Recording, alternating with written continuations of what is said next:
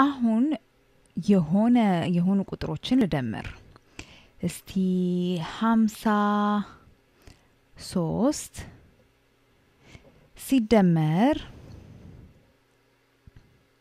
ሲደመር አስራ ሰባት ምን ቁጥር እንደሚሰጠኝ ማወቅ እፈልጋለሁ። ግን አሁን ይሄንን ጥያቄ የምመልሰው የተሰጡኝን ቁጥሮች በማነጣጠል ወይም በማፍረስ ነው እንበል። አሁን እስቲ ሳስረዳችሁ ይገባችኋል ይህ ምን ማለቴ እንደሆነ። አሁን ለምሳሌ ሀምሳ ሶስት ማለት ምን ማለት ነው? ሀምሳ ሶስት ማለት እኮ ሀምሳ ሲደመር ምን ቁጥር ማለት ነው? ሀምሳ ሶስት ማለት ሀምሳ ሲደመር ሶስት ማለት ነው። ሀምሳ ሲደመር ሶስት ያው ሀምሳ ሶስት ነው የሚሰጠን። ስለዚህ አሁን እነዚህን በቅንፍ ላስቀምጣቸው አንድ ላይ እንደሆኑ እና መጀመሪያ መታየት እንዳለባቸው ነው የሚገልጸው ይሄ ቅንፍ ማለት ነው። ስለዚህ ሀምሳ ሲደመር ሶስት ሀምሳ ሶስት የሚለውን በቅንፍ አስቀመጥኳቸው እነዚህን ቁጥሮች ያው ሀምሳ ሶስት ማለት ነው አሁንም ማለት ብዛቱን አልቀነስኩም አልጨመርኩም፣ አንድ አይነት ነው። ሀምሳ ሶስት ማለት ሀምሳ ሲደመር ሶስት ማለት ነው። አሁን የቅድሟን አስራ ሰባት ላውርዳት ወደ ታች ማለት ነው። አሁንም ይሄ ምንም ምንም ብዛቱ አልተቀየረም። ዝም ብዬ አቀማመጡን ነው የቀየርኩት ሀምሳ ሶስትን ወደ ሀምሳ ሲደመር ሶስት በማድረጌ ማለት ነው። አሁን ይሄንን እንደገና ወደ ኋላ አንመለስም አይደለ? እንዲቀለን ነው የምናደርገው። አሁን እንደገና ወደ መጀመሪያው አንመለስም። አሁን እንዲቀለን ነው የምናደርገው። አሁን ይሄ ስንደምር ቅደም ተከተሉን መለዋወጥ እንችላለን። መደመር ይሄ ባህሪ ያለው። ስለዚህ አሁን ይሄንን ሀምሳ ሲደመር ሶስት የሚለውን እንደገና እንገለብጥና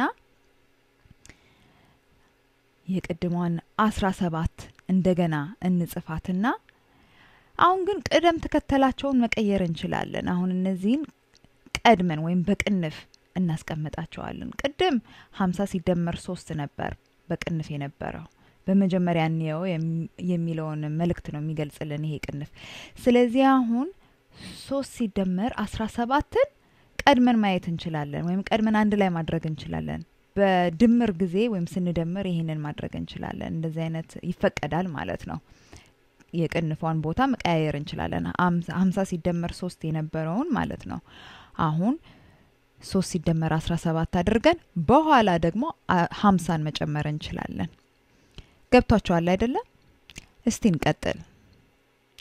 አሁን ቺን ለብቻዋ የተቀመጠችዋን ሀምሳ እዚህ ጋር እንጻፋት። ሲደመር አሁን ቅንፍ ውስጥ ያለውን ነው የምንደምረው እና ሶስት ሲደመር አስራ ሰባት ማለት ነው አይደል? ሶስት ሲደመር አስራ ሰባት ስንት ነው?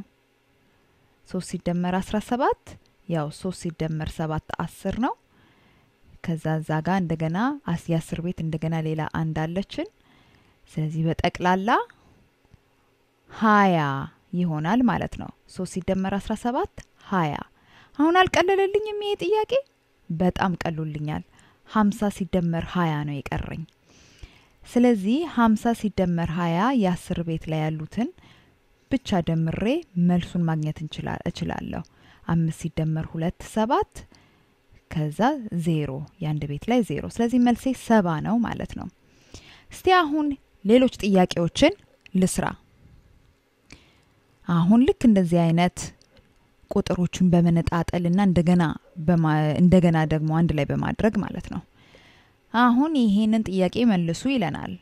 አርባ አንድ ሲደመር ዘጠኝ እስቲ የጎደሉትን ነው የምንመልሰው፣ የጎደሉትን ነው የምንሞላው። አርባ አንድ ሲደመር ዘጠኝ ማለት አርባ አንድ የምትለዋን እንያት።